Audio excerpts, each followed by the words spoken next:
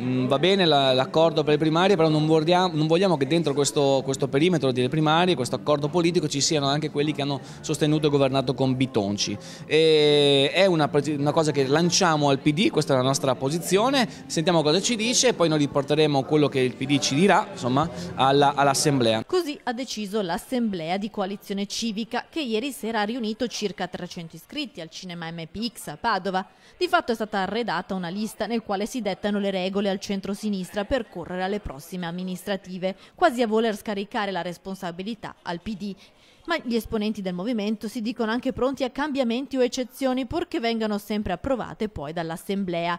Insomma, una storia che non è per niente conclusa, anzi si dovranno aggiungere capitoli ad una saga che sembra diventare infinita e che rischia di rivoltarsi contro ricalcando il copione del 2014.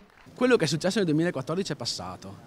Eh, chi eh, pensa ancora che siamo in quella fase sta facendo un grave errore.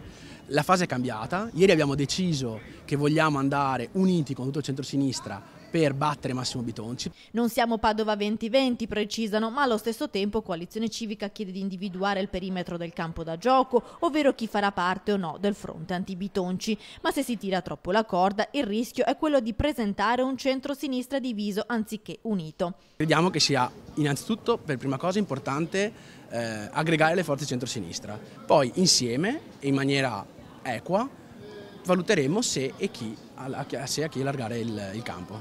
Sabato intanto è previsto alla Fornace Carotto un incontro dei tre candidati di coalizione civica, Lorenzoni, Curia e Rizzetto, che si sfideranno domenica nelle primarie interne del movimento. Si voterà dalle 10 alle 21 alla Casana, in zona brusegana, e potranno partecipare circa 1400 iscritti, residenti o domiciliati a Padova.